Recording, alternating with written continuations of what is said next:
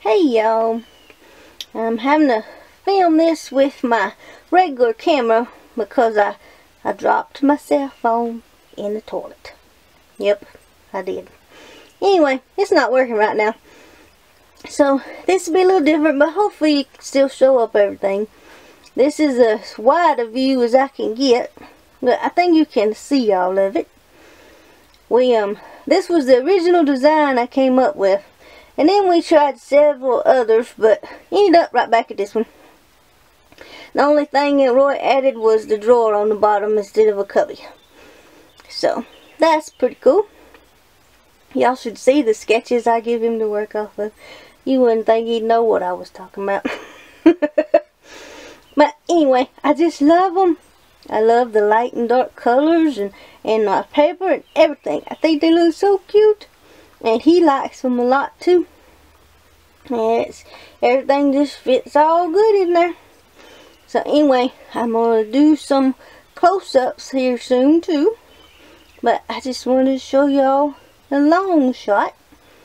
I know it took us a while to make these, but Roy kept having to work over every evening and work on the weekends and didn't have much time to work on it. But anyway, he did a good job. And I helped some. I put on one drawer slide and I sanded some and I stained some and I drilled some and know, he does the bulk of the work but I'm a pretty good assistant. anyway, now for the close-ups. Okay. This is our cabinet doors. The doors are made of birch plywood and the face frame and all is made of oak. I wanted the light and dark contrast. I thought that looked cool. We got enough cubbies. That one put a shelf in and that one covers the power cords and got one down there and then Roy put a drawer which I like because it made more of the light color and then we got that cubby and the inside of the cubbies is made from sandy ply plywood it's just regular stuff.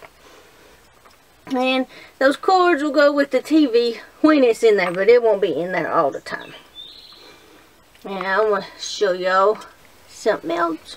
Ain't my little birdie's cute? When we put it together we ended up with the bad side of plywood out on these little cubbies. And Roy says we gotta put something on there he thought about the birds we used on the chuck box but that stuff wasn't the easiest thing to do because it was wrapping paper. I told him I said scrapbook paper works better. Let's find some that you like. So I picked this side and got my little birdies. And then he picked this side. See, you got a map on the top and then traveling places on the bottom. I think they both look cool. Then we decided to just do some yellow wood looking kind on the top up there. It's so neat. And then that's more of our birch That's my Route 66 doorknob. I got it and these two up here are used for the top doors. All for 80 cents each. I thought that was pretty cool. I think they look cute in the buttercup. That's the what the top little doors look like. It's just one big thing all the way across. So it'll hold quite a bit of stuff. And then here's the drawer. It's pretty big, so that'll help too. And that little shelf is where our Blu-ray thing is going to go.